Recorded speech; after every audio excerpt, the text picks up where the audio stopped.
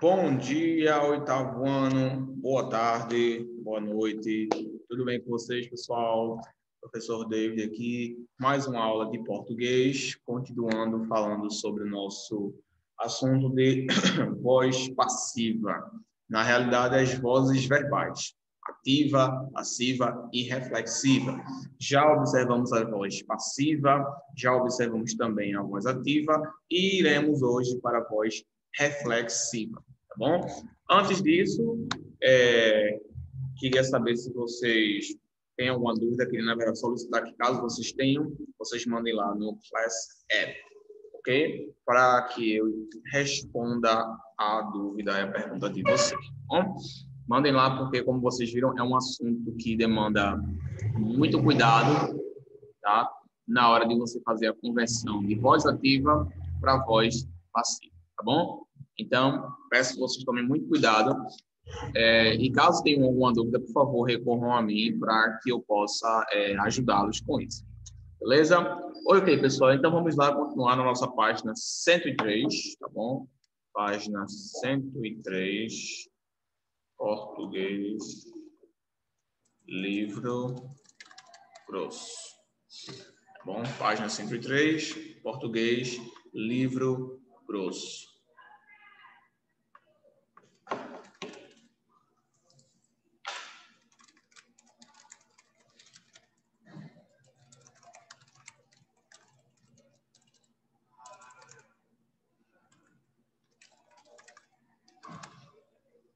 Ok, então temos nosso cabeçalho aqui.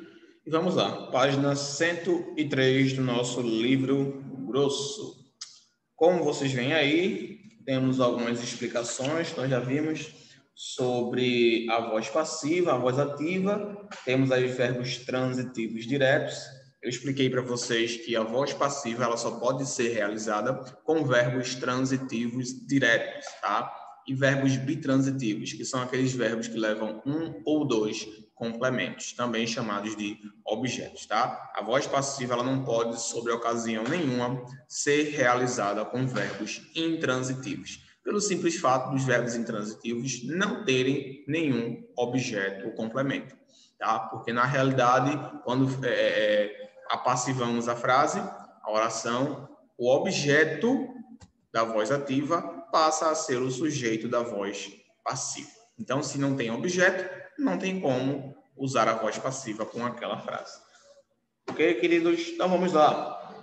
Aqui a explicação sobre a voz ativa, que nós já vimos. Uma explicação também sobre os cangaceiros, né?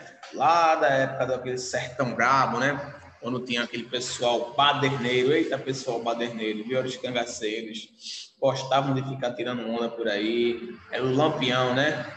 Vigolino Ferreira da Silva, o famoso Lampião, né? Eita, tempo bom, né? De se estudar, né? Tempo bom de se viver, não, de se estudar. E se viver era difícil viver naquele tempo. Vamos lá, pessoal. Página 104, abram aí, por favor, página 104.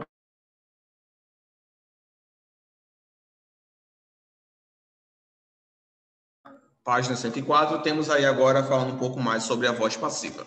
Em suma, o que eu já resumi para vocês. Mas, de qualquer forma, vamos fazer a leitura e ver se tem alguma observação aqui que não foi mencionada. Uh, as frases poderiam ser escritas de outra maneira. Observe. O tempo era dividido pelos cangaceiros. Aí já vemos que temos a estrutura da voz passiva. Por quê? Porque temos aí, ó, o tempo era dividido pelos cangaceiros. Então, Obviamente, como a gente pode perceber aí, essa estrutura aí está na voz passiva, tá bom? Ó, a gente vê aqui ó, que os cangaceiros dividiam o tempo. E aqui temos o quê? Ó, temos aqui o verbo auxiliar, né, que é o verbo ser, que forma a voz passiva, o verbo ser. E temos aqui o verbo principal, que é o verbo dividir, no particípio. Basicamente, a melhor forma, gente, de vocês conseguirem identificar uma estrutura na voz passiva é vocês prestando atenção nessas, nesses dois detalhes aí, tá bom? O verbo principal tem que ver se ele está vindo no particípio e o verbo auxiliar, tá bom? Se ele é o verbo ser, porque a voz passiva ela só pode ser formada se o verbo tiver no particípio e tiver o verbo auxiliar, tá bom? Não, ao contrário, não pode. Por exemplo, o tempo dividido pelos cangaceiros. Não faz, até faz sentido, né? Mas aqui não seria uma estrutura na voz passiva, tá? O tempo dividido pelos cangaceiros. Ou então, o tempo era dividir os cangaceiros. Também não faz sentido, tá? Então, temos que ter essas, essas duas, é, esses dois elementos aqui, que são os formadores da voz passiva. O verbo ser, o auxiliar, e o verbo dividir no particípio. Para quem não sabe, o particípio é aquela forma do verbo é, que na maioria das vezes acaba com do, né? Feito, é, é, comido, achado, é, colocado, é, é, estudado, enfim. Aqui o particípio do verbo dividir é dividido. Então aí temos aí três outras orações utilizadas na voz passiva. O tempo era dividido pelos cangaceiros, ah, cartas eram jogadas pelos cangaceiros, o mesmo exemplo que eu dei na aula passada, né? E lutas eram promovidas pelos cangaceiros. Então temos aí, pessoal, três exemplos de vozes passivas, vozes verbais passivas, tá? Todas têm a mesma estrutura, ó. Verbo auxiliar, verbo auxiliar, particípio particípio. Bom, todos têm a mesma estrutura. Bom, vamos fazer a leitura. Agora, houve uma inversão dos termos. O objeto direto passou para a posição do sujeito. Com essa mudança, observe que o sujeito se tornou alvo da ação verbal, a ação praticada pelos cangaceiros. Assim, nesses exemplos, ocorre a voz passiva, e o termo pelos cangaceiros é classificado como agente da passiva. A voz passiva pode ocorrer de duas formas. Voz passiva analítica é formada pelo verbo ser mais o particípio do verbo principal. A voz passiva analítica tem origem na voz ativa. O agente da passiva passa para a função de sujeito da voz ativa. E o sujeito da voz ativa passa para a função de objeto direto. Tá? Basicamente o que eu já tinha explicado para vocês, tá bom? Temos aí a voz, a voz passiva analítica e depois veremos a voz passiva sintética, tá bom? Mas antes vamos concluir aqui o nosso raciocínio, tá bom? Então, como vocês já sabem, o sujeito ele passa a ser o, o, o objeto ele passa a ser o sujeito da ação, né? Espera aí, rapidinho.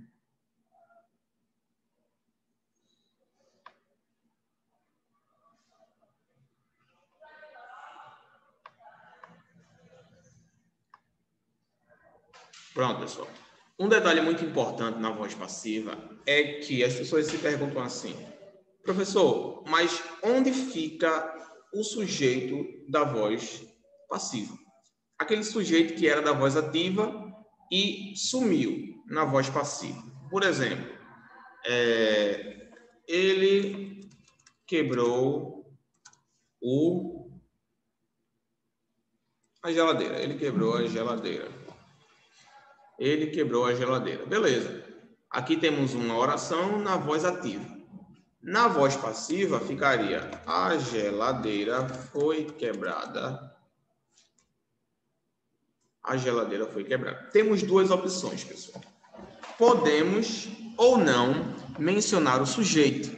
Tá bom? Nesse caso aqui, o sujeito foi ele, né? Ele que foi quem quebrou a geladeira. Então, eu posso dizer a geladeira foi quebrada, já é suficiente, ou eu posso complementar e também adicionar o sujeito, que nesse caso aí seria por ele. A geladeira foi quebrada por ele. Então, ele quebrou a geladeira e a geladeira foi quebrada por ele. Então, para você acrescentar o sujeito da voz passiva, você precisa colocar aí o por, tá bom? Esse advérbio aqui, por, é quem vai dizer é, é, é o que vai especificar o sujeito. Só que na voz passiva, nem sempre, na maioria das vezes, ele não é necessário.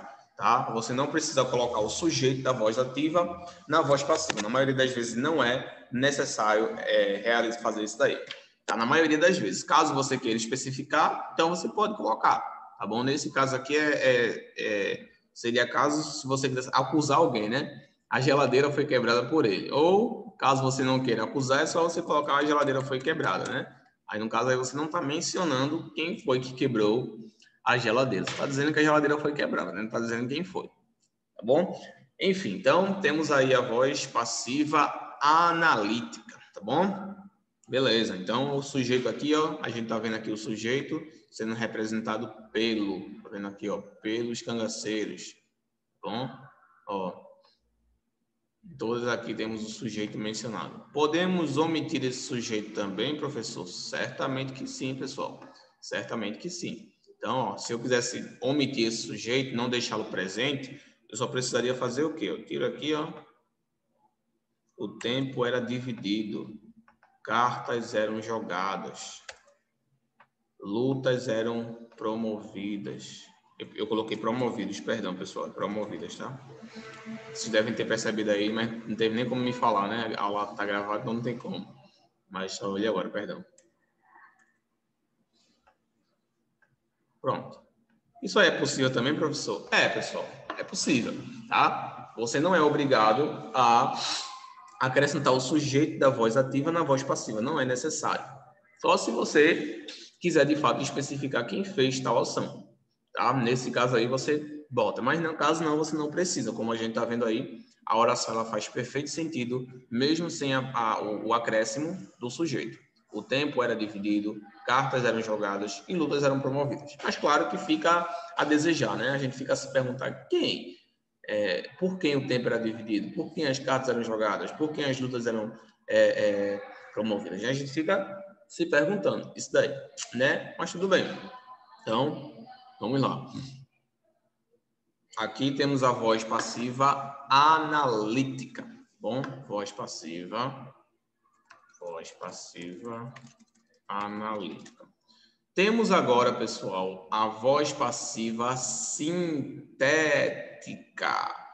Voz passiva sintética. Essa daí é bem legal. E isso é, são erros que eu vejo o pessoal cometendo diariamente, basicamente, eu posso dizer assim, diariamente, né?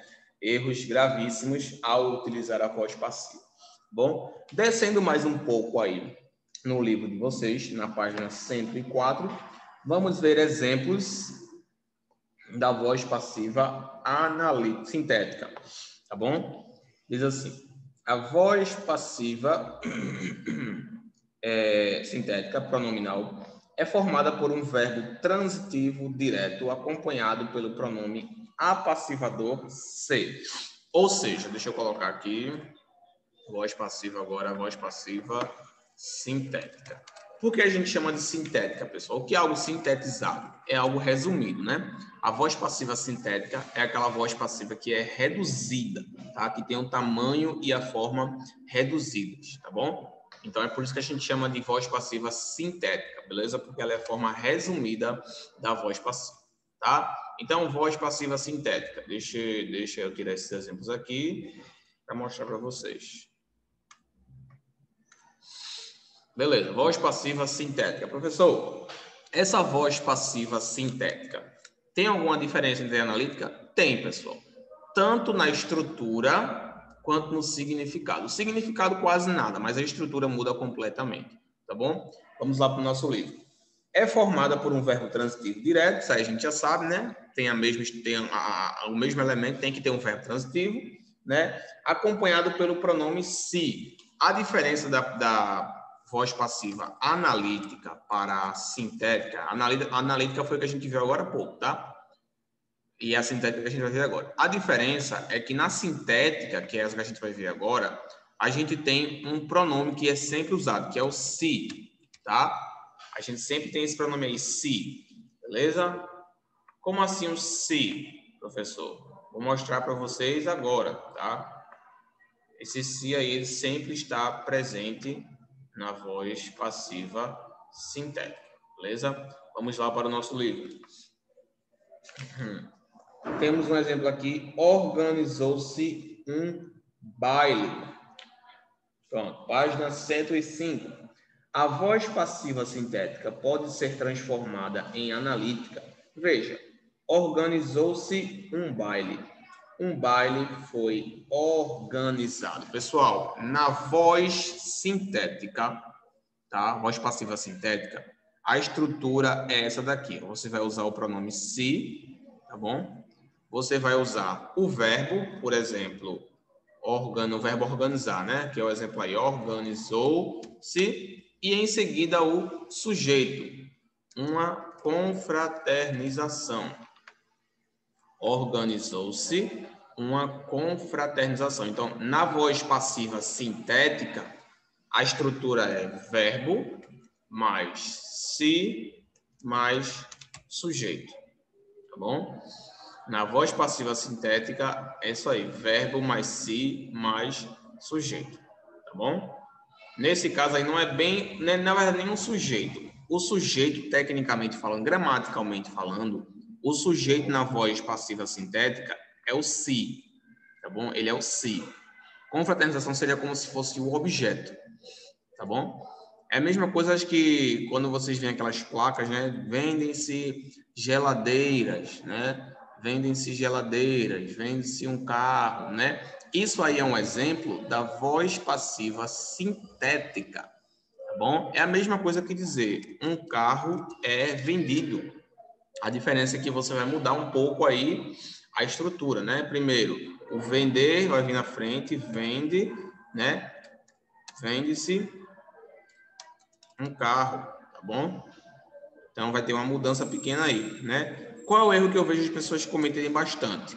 Quando vão anunciar esses tipos de propagandas na rua, em qualquer lugar, é, as pessoas cometem erros que comprometem é, a, a leitura da oração. Por exemplo, organiza, organiza se festas organiza-se festas. Está errado, pessoal, isso aí?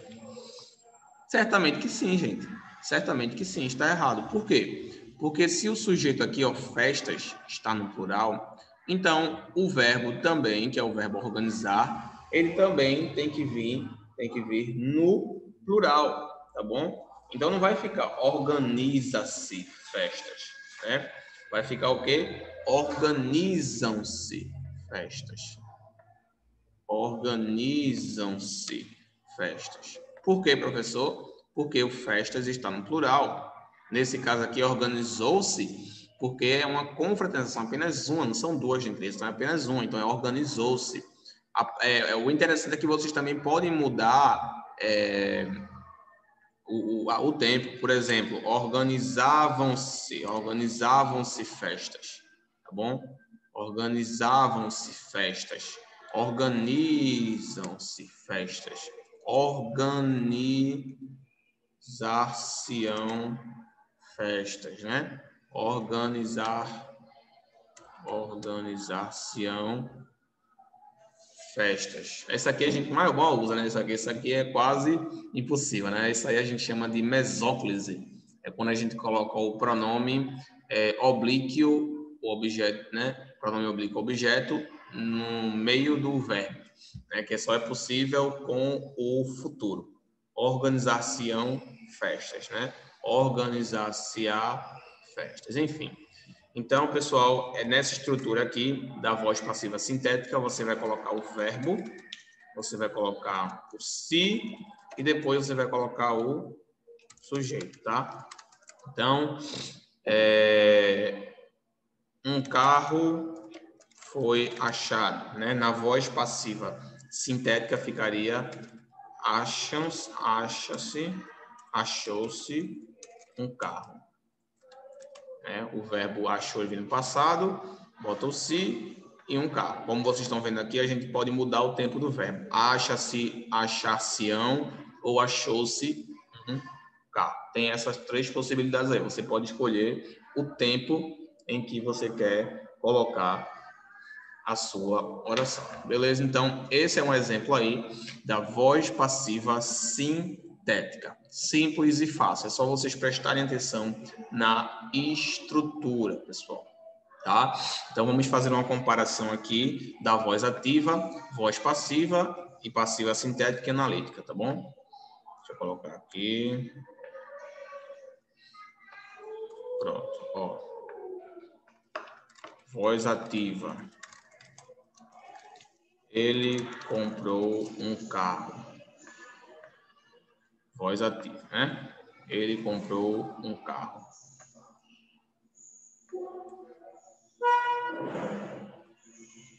Voz ativa. Ele comprou um carro. Vamos agora para a voz passiva. Voz passiva. Aí temos aqui analítica e sintética. Vamos lá. Voz passiva agora. Deixa eu colocar aqui. Pronto. Na voz passiva, ficaria, analítica ficaria, um carro foi comprado por ele. E na voz passiva sintética, ficaria,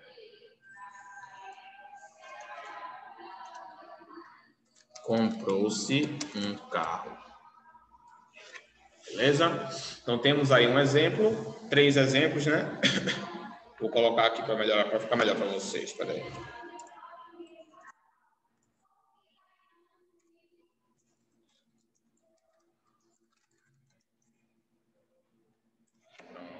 Agora melhorou.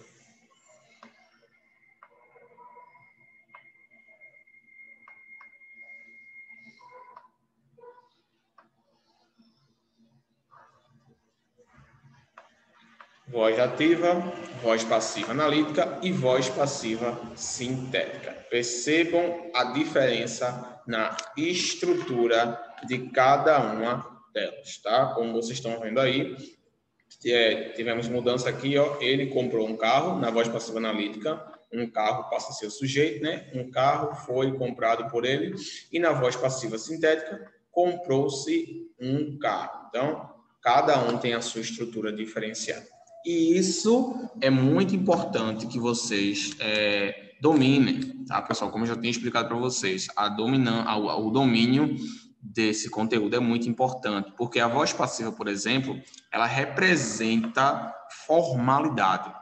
Quando você usa a voz passiva, você representa formalidade.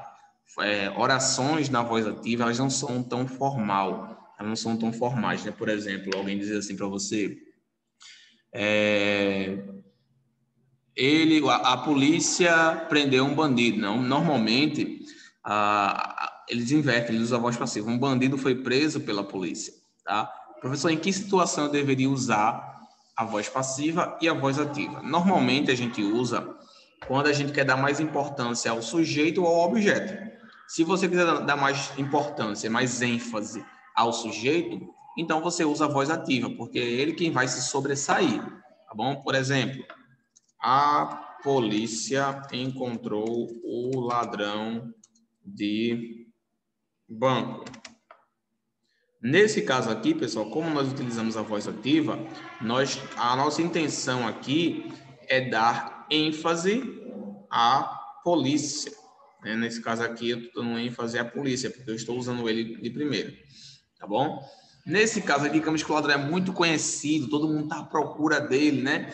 Nesse caso aí, pessoal, se fosse o caso, o ideal seria utilizar a voz passiva. O ladrão de banco foi encontrado. E às vezes o pessoal nem menciona, né? Pela polícia, pelo vizinho, pela pelo FBI, enfim. Então, o ladrão de banco, nesse caso aqui, nitidamente a gente quer dar ênfase a quem? Ao ladrão, tá bom? Então, dependendo de quem, é, de, para quem você quiser dar ênfase, você vai utilizar é, a voz ativa ou a voz passiva analítica. E a sintética?